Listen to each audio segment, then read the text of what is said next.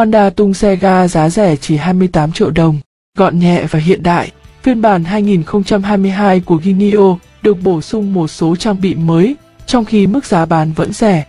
Acha Honda Motor Honda tại Indonesia mới đây đã đưa tới bản cập nhật mới nhất năm 2022 của mẫu tay ga Ginio tại nước này.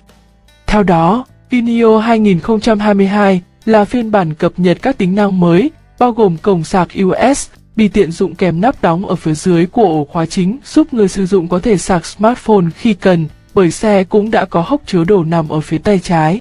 Cùng với đó Gineo 2022 cũng được thiết kế lại vành xe với kích thước 12 inch cùng với kết cấu mới, giúp xe có ngoại hình thể thao hơn. Sẽ có hai phiên bản cho người sử dụng, lựa chọn gồm phiên bản Gineo CBS có thêm hệ thống tự tắt máy khi dừng xe quá 3 giây và Gineo CBS. Phiên bản CBSISS có 3 tùy chọn màu sắc để sử dụng sơn nhám, còn phiên bản CBS thì sử dụng sơn bóng và cũng có 3 tùy chọn màu sắc cho người sử dụng lựa chọn. Các trang bị khác trên Gineo 2022 không khác biệt so với người tiền nhiệm khi xe, được trang bị đèn pha LED, đi kèm với đèn xi nhan, ngay hai bên mang tới tổng thể mặt nạ trước khá khỏe khoắn. Xe sở hữu đồng hồ LCD toàn phần hiển thị đầy đủ các thông số giúp người sử dụng kiểm soát xe dễ dàng hơn. Ngoài ra, Ginio 2022 cũng được trang bị cốp xe rộng 14 lít, giúp người sử dụng chứa vừa mũ bảo hiểm nửa đầu, kèm áo mưa, cùng các vật dụng cá nhân.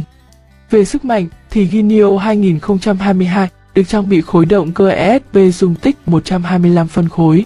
Khối động cơ này sản sinh công suất tối đa là 9 mã lực tại 7.500 vòng trên phút và mô men xoắn cực đại là 9,3 Nm tại 5.500 vòng trên phút. Xe cũng đặc biệt tiết kiệm xăng khi mức tiêu thụ nhiên liệu rơi vào 59,1 km trên lít xăng. Giá bán của Ginio 2022 từ khoảng 28,7 triệu đồng khi quy đổi ra tiền Việt. Hiện tại, phiên bản Ginio 2021 cũng được một số đơn vị nhập khẩu tư nhân đưa về Việt Nam với giá khoảng 33 triệu đồng. Do đó Ginio 2022 có lẽ cũng chỉ nhìn hơn một chút so với phiên bản 2020.